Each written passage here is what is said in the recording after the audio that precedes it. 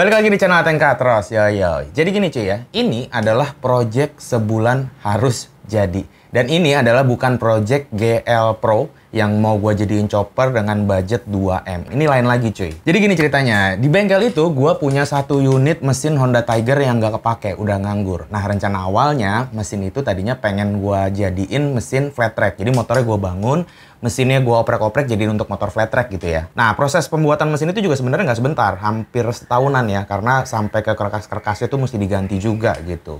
Mesinnya udah beres dibangun, tapi di tengah-tengah jalan gua malah BM alias banyak mau. Tadinya buat ikut flat track, gue pengen ikutin drag race.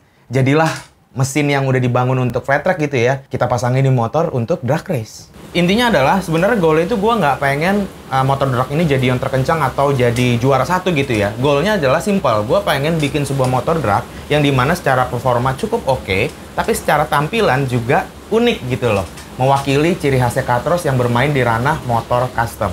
Nah karena ini basic motornya itu atau basic mesinnya itu adalah Honda Tiger, kalau mau diikutin di drag race ya, otomatis turunnya itu di kelas Herex. Buat teman-teman di sini yang belum tahu apa itu Herex, gue mau jelasin dikit nih ya. Eh, tapi sebelum itu, buat teman-teman di sini yang belum subscribe, jangan lupa subscribe channel gue ini supaya gue tetap semangat bikin konten soal motor custom dan roda 2 pastinya. Follow juga Instagram personal gue di @ateng_andi_akbar Instagram bengkel gue juga di @katrosgarage dan kalau kalian suka modifikasi tapi nggak pengen ribet dan nggak pengen sampai potong sasis, kalian wajib follow akun Instagramnya custom.kit. Oke, kita lanjut ya. Apa itu Herex? Ini dia. Herex adalah aliran modifikasi motor yang awalnya populer di kalangan masyarakat Madiun di segmen balap jalanan. Jika dilihat secara sekilas, mungkin Anda akan langsung teringat dengan model modifikasi Taillock atau modifikasi drag race. Tampilan utama yang bisa dilihat adalah memiliki bodi yang ramping dan sangat hemat. Penggunaan ukuran ban yang kecil sehingga tampak gesit, setang jepit atau stang aserbis, hingga membuat tampilan sok depan lebih panjang dengan bantuan peninggi. Tentu saja tampilan ini dibuat sedemikian rupa agar motor memiliki manuver yang gesit secara kecepatan tinggi. Nah, satu kesimpulan yang bisa diambil ya, motor-motor Herex ini base mesinnya atau base motor itu kebanyakan dibangun dari keluarga motor GL. Misalnya Honda Tiger, GL Pro, GL Cepet, kayak gitu-gitu. Oke, balik lagi ya. Jadi karena gue cuma punya modal mesin doang, mesin Honda Tiger, kalau gue mau bangun drag otomatis gue harus ngumpulin lagi tuh barang-barangnya. Misalnya kayak sasis suspensi depan shock breaker belakang velg ban dan lain-lain gitu kan. So nggak pakai lama di hari itu gue langsung hunting sasis. Sekarang sudah jam berapa nih? 9 lewat 15 kita lagi menuju ke daerah Cikupa ya? Cikupa kayak syuting jatah Anras ya. Kita lagi menuju TKP ya. Jarang-jarang gue pergi malam ke bengkel nih. Karena emang jam kerjanya sebenarnya bukannya dari siang, cuman dia lebih nyamannya malam disamperin. Jadi ya udah kita langsung menuju ke area workshopnya aja. Mudah-mudahan barangnya ready stock, kita bisa langsung bawa pulang sasisnya. Ya, ya.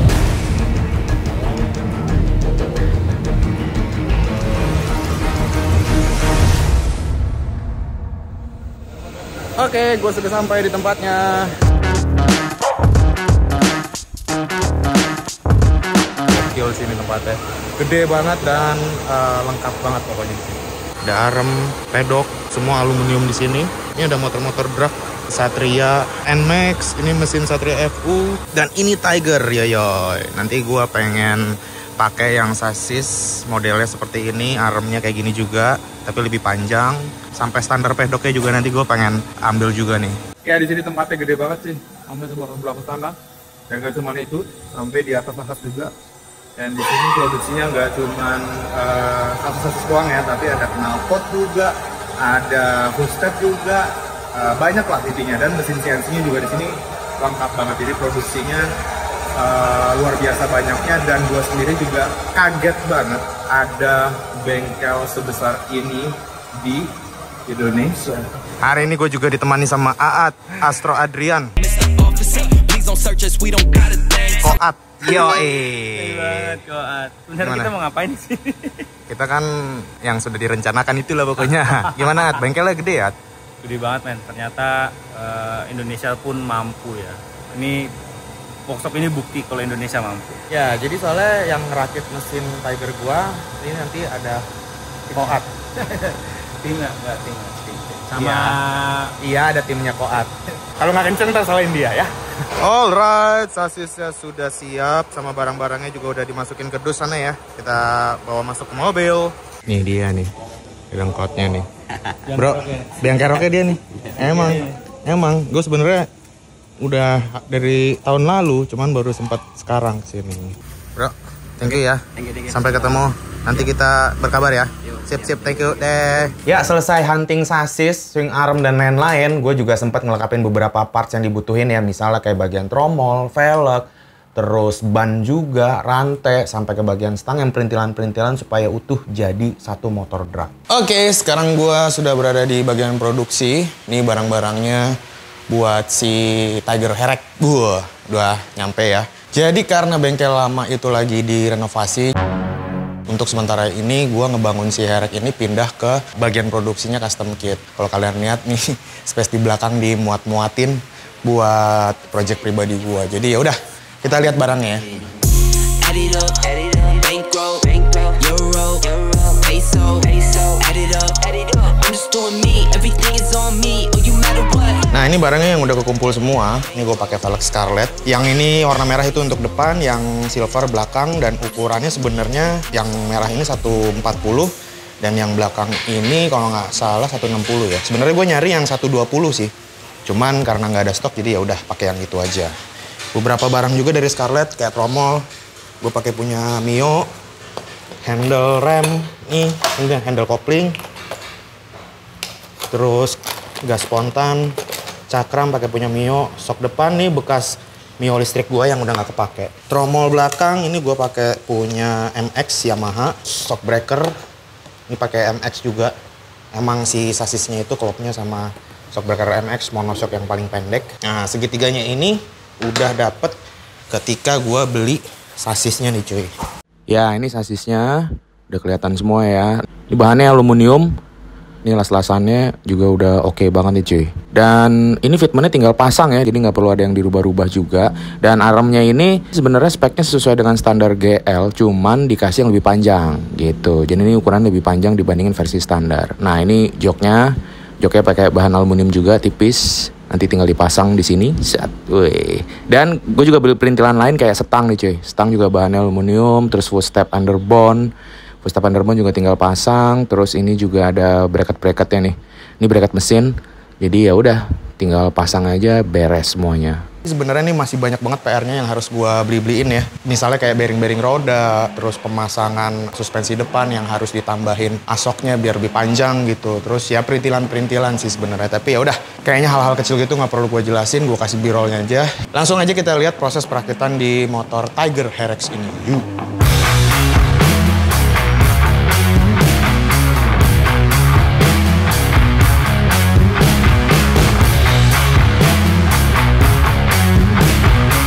Info ya, mesinnya tuh udah jadi sebenarnya digarap sama si Aat. Jadi tinggal ngerakit mesinnya aja ke sasis yang baru.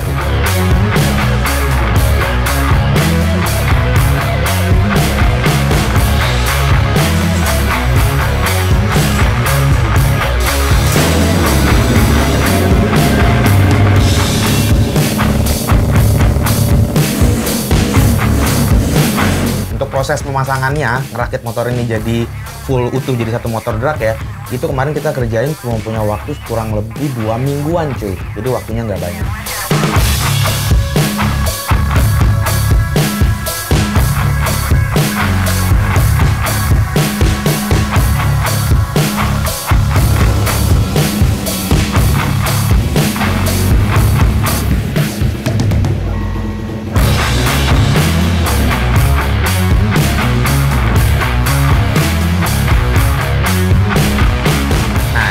Motornya jadi, gue jadi ngide gitu cuy. Ini kalau misalnya motor drag itu kan identik sama motor yang trondol gitu kan tampilan bodinya, nggak ada bodinya sama sekali. Kalau sekarang-sekarang ini mungkin hanya pakai tameng depan gitu kan.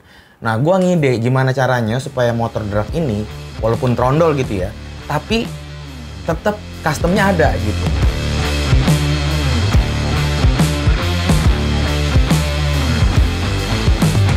Ya intinya sih di acara drag gue pengen selain performanya oke, tampilan juga at least paling nggak keren lah, custom gitu ya. Walaupun waktu gua untuk ngebikin si body drag ini bener-bener cuman hitungan hari cuy, nggak nyampe semingguan gitu.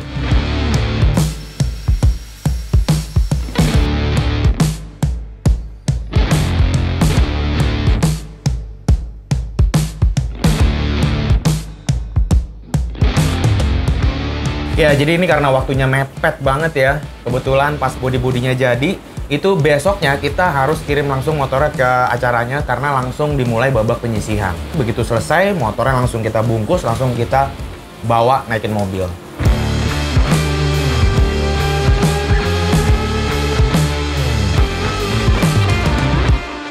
Oke, hari ini gue sudah berada di Street Race Kemayoran. Yo yo, kita lagi sarapan dulu sama bini gue dan Asal juga. Kita makan ketoprak. Oke, jadi hari ini gue nurunin dua motor. Itu ada motor uh, Tiger Cafe Herex dan satu lagi Mio. Gue bawa Mio.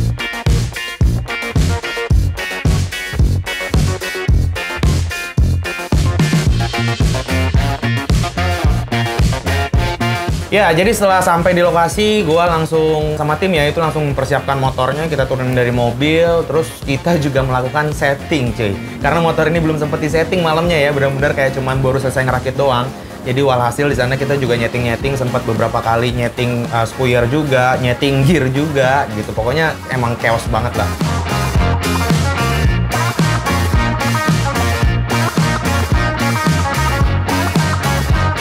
Ya dengan settingan yang pas-pasan, bangunnya juga kayak candi gitu, cuman beberapa minggu doang, body-bodinya apalagi cuman seadanya doang gitu, yang penting kelihatan tampil beda gitu. Ya gue sih cuma berharap sama jokinya. Ini jokinya menurut gue cukup oke nih, Muhammad Fahri, yo yo. Ada Instagramnya ya, gue taruh di kolom deskripsi kalau kalian kepo. Jokinya menurut gue ini salah satu faktor penentu si Herek juga gitu kan. Ya, jadi tiba juga saatnya waktu yang kita tunggu-tunggu, race uh, nomor start kita dipanggil gitu kan. Gua awalnya deg-degan.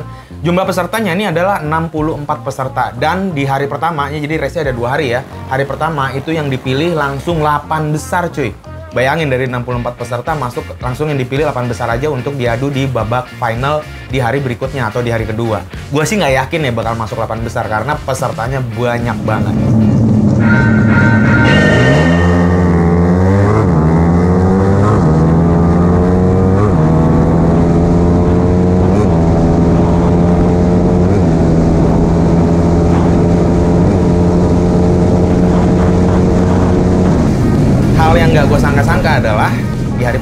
Kita lolos ke 8 besar. Luar biasa banget ya mengingat ya spek mesin si Herek ini sebenarnya nggak ada apa-apanya gitu dibandingkan yang lain. Tapi ya gue yakin itulah karena faktor jokinya juga jadinya motor ini bisa tampil semaksimal yang sesuai dengan speknya lah gitu. Hari pertama selesai, kita masuk hari kedua cuy. Jadi dari kemarin tuh ya, dari 64 peserta yang Herex itu cuman diambil 8 motor. Nah, si Verex ini dia masuk ke 8 besar. Hari ini rencananya kita mau turunin lagi dan kemarin tuh si Aat juga udah sempat setting-setting mesinnya lagi. Kemarin tuh eh, kompresinya rada bocor gara-gara klepnya mentok sama piston. Nah ini klep exhaustnya udah diganti, jadi mudah-mudahan performanya bakal lebih oke lagi. Ya gue sih nggak berharap banyak karena masuk 8 besar aja menurut gue udah gokil banget ya. Ini motor mungkin yang speknya paling rendah cuy. Tapi ngomongin spek nanti dulu, yang penting gue pengen lihat dulu, kita lihat dulu race hari ini.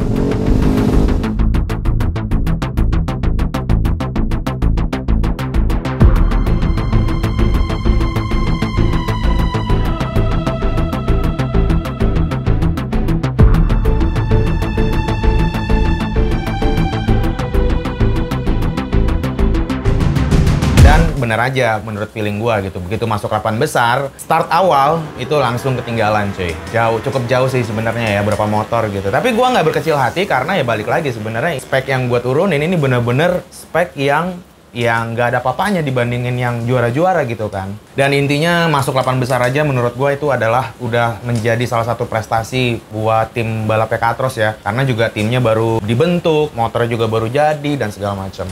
Oke, seperti apa lebih detail soal si Verek alias Cafe Racer Herex ini? Langsung aja gue mau ngajak kalian untuk kita lihat lebih detail hasil sementara. Oke, langsung aja kita lihat. Ini dia, Verek alias Cafe Racer Herex.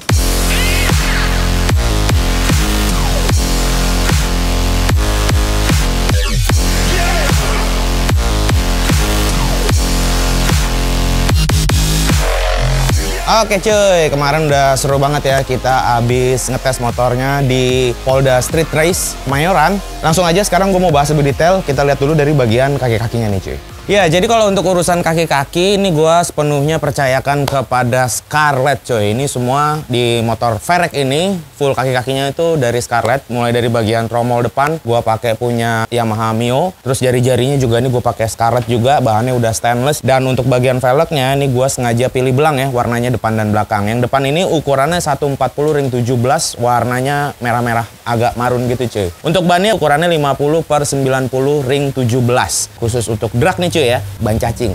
Jadi nggak direkomendasikan untuk dipakai harian.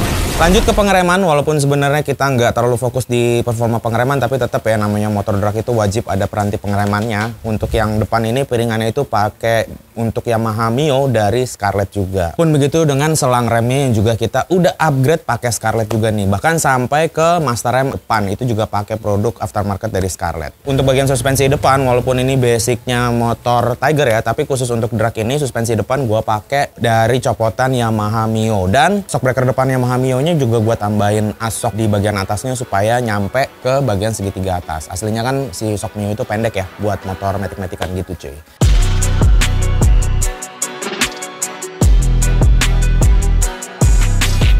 Untuk suspensi belakang nih gue pakai tipe monoshock dari Scarlett juga dan suspensi ini aslinya bukan buat Tiger ya tapi buat Yamaha MX cuy. Di bagian mountingnya itu gue sedikit ada penyesuaian, gue tambahin adaptor supaya kalau motor drag itu kan harusnya ya emang dibikin agak-agak rendah gitu kan supaya lebih aerodinamis gitu. Jadi kemarin kita bikinin bracket tambahan lagi. Terus untuk roda-roda di bagian belakangnya sendiri, velgnya gue pakai Scarlett sama seperti yang depan cuma beda ini warnanya yang silver di belakang ukurannya 160 ring 17 bannya gue pakai IRC It My Dust. Wih, ini ban khusus drag juga ya.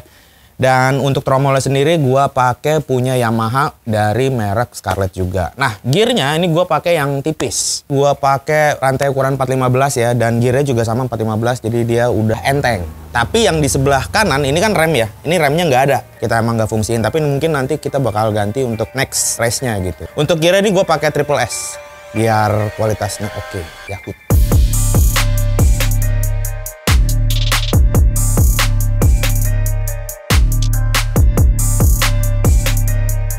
Yang menarik lainnya adalah bagian framenya. Di mana untuk bagian frame ini gue pakai bahan aluminium. Dan ini framenya gue nggak bikin, tapi ini adalah produk dari Baba Amorex. Yo, ini framenya gue dapat ya kemarin tuh dari mulai segitiga atas, segitiga bawah, terus frame utamanya, swing arm, full step underbone, bahkan sampai ke alas jok dan sampai ke standar pedoknya ini semua pakai bahan aluminium juga. Dan pemasangan mesinnya juga ternyata ini PNP ya tinggal pasang. Kemarin kita nggak mengalami sedikit pun kesulitan gitu saat uh, masang mesinnya. Ternyata memang bener-bener plug tinggal pasang semua. Build quality-nya oke banget las-lasannya kelihatan banget nih cacing-cacingannya gitu ya. Gue sih suka banget dan dibandingin frame standar, jelas frame aluminium ini jauh lebih ringan dibandingin frame standar. Untuk swing armnya juga ini kita pakai bahan aluminium, dia jarak atau sumbu rodanya itu jadi lebih panjang dibandingin yang versi standar ya gitu cuy.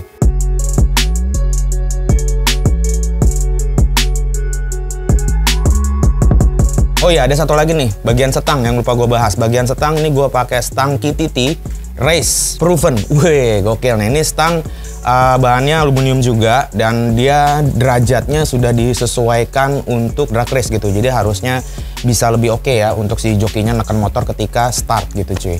Nah, masuk ke bagian body body. Sebenarnya ini kalau kita ngomongin body body ini adalah body body sementara cuy. Karena emang kemarin waktunya tuh mepet banget persiapan kita. Jadi benar-benar yang kalian lihat ini adalah body body sementara. Yang nanti bakal kita upgrade lagi. Untuk bagian fairing depan ini pakai bahan fiber. Aslinya ini adalah fairing untuk Yamaha SXR yang gue jual untuk custom kit gitu kan. Karena waktunya terbatas jadi ya kita rombak dari bahan yang ada dan kita pasangin di sini.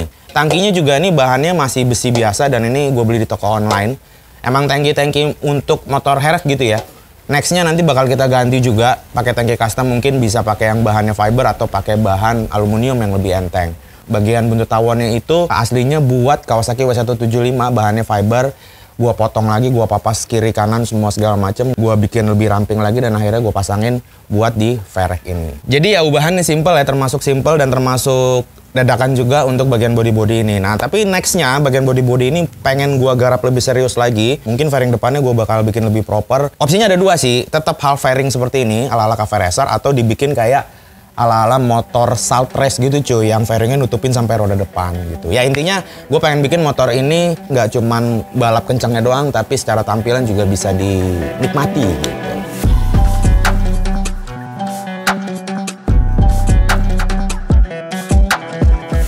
Oke, sekarang kita cobain duduk di motor drag.